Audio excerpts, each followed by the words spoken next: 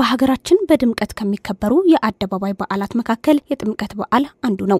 የኢትዮጵያ ኦርቶዶክስ ተዋሕዶ ቤተ ክርስቲያን በዓለ ጥምቀትን የምታከብረው የበዓሉን ጥንታዊነት በጠበቀ መልኩ ሲሆን ሀገራችንም በዓለም እንድትታወቅና የበርካታ ጎብኚዎች መስህብ እንድትሆን አድርጓታል። የእምነቱ ተከታዮችም በዓሉን እምነቱ በሚጠይቀው መሰረት አምረውና ደምቀው ያከብሩታል።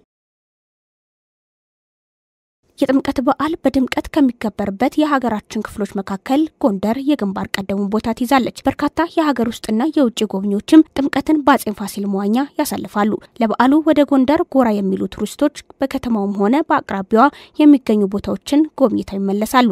ሶስቱ የጥምቀት በዓል አከባበር በጎንደር ስንመለከት የጥምቀት በዓል አከባበር ታቦታት ከመንበራቸው ወጥተው ወደ ጥምቀተ ባህር የሚወርዱበትና የሚመለሱበት ስርዓት ሶስት ታሪካዊ ሂደቶችን አልፎ ነው አሁን ያለበት ገጽታ ላይ ያዘ እነርሱም በአጼ ገብረ መስቀል የነበረው ስርዓት ሲሆን ታቦታት ከመንበራቸው ይወጡና ወደ ጥምቀተ ባህር ወርደው ህዝቡን ባርከው በዕለቱ ተመልሰው ወደ መንበራቸው የሚመለሱበት ነው። ሁለተኛው በንጉሥ ላሊበላ ዘመን ደግሞ ቀድሞ የነበረው ስርዓት ተቀይሮ ታቦታት ከመንበራቸው ወጥተው ወደ ወንዝ በመውረድ በዚያው አድረው በመጡበት መንገድ እንዲመለሱ ተደርጎ ነበር። ሶስተኛው በአጼ ዘርዓ ያዕቆብ ዘመን ደግሞ ቀደም ያሉት ሁለቱ ስርዓቶች ተቀይረው በዋዜማው ታቦታት ከመንበራቸው ወጥተው ወደ ጥምቀተ ባህር በመውረድ በዚያው አድረው እንዲመለሱ ነገር ግን ወደ መንበራቸው ሲመለሱ ወደ ጥምቀተ ባህር በሚወርዱበት መንገድ ሳይሆን በሌላ መንገድ ሀገሩንና ህዝቡን እየባረኩ እንዲመለሱ ተደርጓል። አሁን በአብዛኛው የሀገራችን ክፍል የንጉሥ ላሊበላና በአጼ ዘርዓ ያዕቆብ ዘመነ መንግስት የተደነገጉ ስርዓቶች መሰረት ተደርጎ ጥምቀት ይከበራል።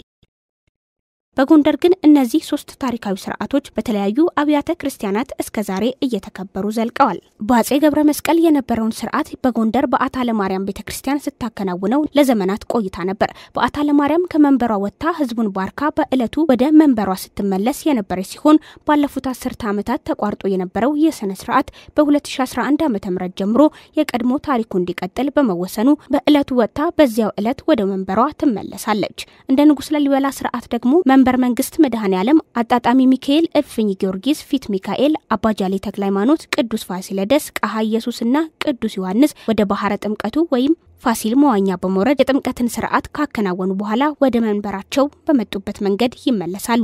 የአጼ ዘርዓ ያዕቆብን ስርዓት ተከትለው ወደ ጥምቀት ባህር በሚወርዱበት ሳይሆን በሌላ መንገድ ወደ መንበራቸው ከሚመለሱት ታቦታት ውስጥ የጎንደር ልደታ ማርያም ተጠቃሽ ናት። በዚህም ልደታ ማርያም ወደ ባህረ ጥምቀቱ የምትወርድበትና ወደ መንበሯ የምትመለስበት መንገድ የተለያየ ነው።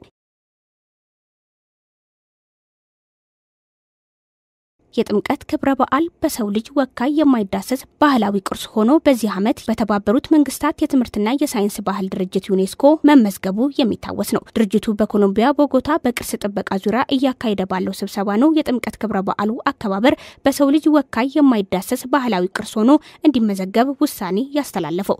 በባህልና ቱሪዝም ሚኒስቴር የቅርስ ጥናትና ጥበቃ ባለስልጣን የጥምቀት ክብረ በዓል አከባበርን በተባበሩት መንግስታት የሳይንስ የትምህርትና የባህል ድርጅት ዩኔስኮ በሰው ልጅ ወካይ የማይዳሰስ ባህላዊ ቅርስነት ለማስመዝገብ ጥረት የተጀመረው ከሁለት ዓመታት በፊት ነበር። ኢትዮጵያ እስካሁን ሶስት የማይዳሰሱ ቅርሶችን የመስቀል በዓል፣ ፊቼ ጨንበላላና የገዳ ስርዓትን በዩኔስኮ አስመዝግባለች። ጥምቀት በወረሃ ጥር በኢትዮጵያ ኦርቶዶክስ ተዋሕዶ እምነት ተከታዮች ዘንድ በአደባባይ በድምቀት ተከብሮ የሚውል ሃይማኖታዊ በዓል ሲሆን የጥምቀት በዓል ከዋዜማው ጥር 10 ጀምሮ እስከ ጥር 12 ቃና ዘገሊላም በድምቀት ይከበራል።